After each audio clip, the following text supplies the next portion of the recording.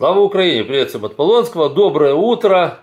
По результатам замечательной бавовны вчера в Татарстане. Итак, друзья мои, э, был нанесен удар по двум точкам, находящимся по прямой, по прямой, скажем так, на расстоянии более 1200 километров от границ Украины. То есть наши замечательные дроны, на самом деле это были не дроны, это были мини-самолеты, это уже ясно преодолели расстояние как минимум 1500-1600, может быть больше километров, потому что ну, никто их с границы, понятное дело, не запускал, по прямой они, понятное дело, тоже не летели. Вот, так что это был, пожалуй, самый дальний, результативный, заметьте, удар по российской фашистской гадине с момента начала российско-украинской войны. Э, итак, давайте подсуммируем, куда попало. Прежде всего, прилетело два беспилотника по российскому э, заводу «Шахедов». Завод полностью не уничтожен, сразу скажу, но ему нанесен очень существенный ущерб. И не знаю, смогут ли они прямо сейчас э, начать выпуск э, новых этих дронов, с этим мы еще разберемся. Но по заводу попало конкретно. Интересно, что вот это здание, по которому, которое мы все уже тысячу раз видели, это попадание, оно использовалось в качестве, как вам сказать, своего рода такого, знаете, обучающего комбината или техникума какого-то для террористов. То есть э, российские бандиты устроили там эдакий, эдакий международный террористический пул, где они обучали будущих террористов из других стран использовать вот подобные пепелации типа шахет.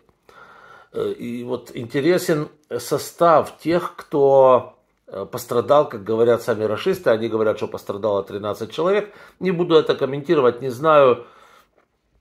Мы все видели, что после первого замечательного удара по этой шарашкиной конторе все оттуда выбежали и были на улице. Почему там кто-то пострадал, я не знаю. Ну, такое, оставим это на их совести. Значит, обратите внимание на страны, э, представители которых, как говорят расисты, пострадали при этом замечательном ударе. Итак, Зимбабве, Руанда, Конго, Кения, Нигерия, Южный Судан, Шри-Ланка, Киргизия.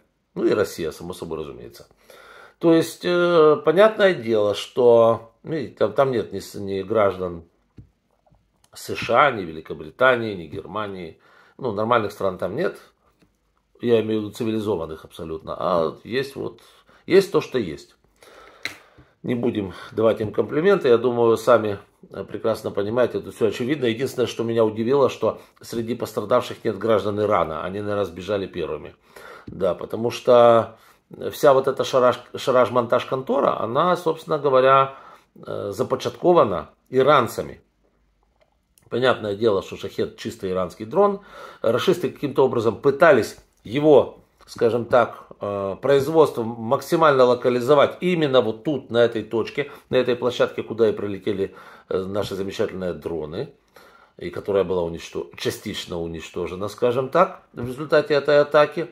И именно в этих корпусах их и собирали. Интересно, что есть видео, где какой-то рашистский начальник э, ходит и радостно показывает э, корреспонденту, какому-то там пропагандисту, вот, вот тут мы собираем наши фашистские детали. Вот тут мы собираем наши фашистские, значит, дроны. Вот это мы все соберем и будем убивать детей и женщин в Украине. Какие мы замечательные, э, добрые, хорошие фашисты. Вот, вот, вот, вот так это все выглядело. Именно в этом помещении туда и прилетело. Я, я всегда в связи с этим вспоминаю прилет, не менее замечательный, по-моему, в Ижевске, да, Э, где точно так же вот эти вот, э, значит, э, зеркальные стены, помните, Сигвей, собира... сборка российско-фашистских дронов и все такое, ну, там ФПВ дроны собирали, и этот директор ездит по этой, значит, в этом помещению, на этом Сигвей, и рассказывает, как он, вот сейчас миллион дронов они поставят. А потом туда прилетело. Этого места нет вообще теперь. Вот. Но это номер два. Только это было дальше. Они думали, что по ним ничего не прилетит.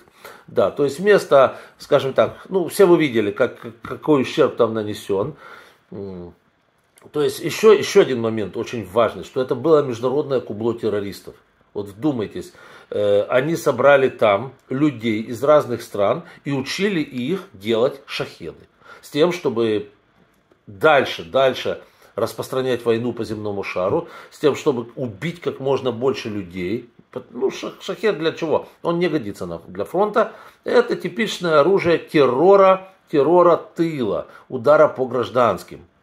И вот э, российские бандиты и террористы надумали расплодить вот этот террор, распустить его вот по вышеперечисленным странам. Откуда и, так сказать, если это можно назвать студентами, ну, у Талибана приблизительно точно такие же студенты там в Афганистане, вот, э, обучались там. Второй удар был нанесен по заводу, как мы знаем, э, компании Тенека в Нижнекамске. Это завод, перерабатывающий 8 миллионов тонн сырой нефти в год.